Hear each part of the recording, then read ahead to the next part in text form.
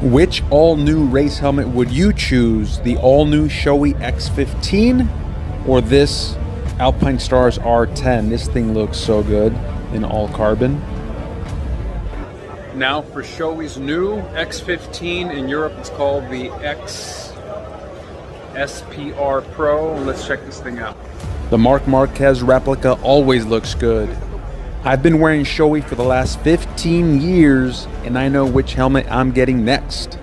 Serious question, which one would you choose, Alpine Stars or Shoei?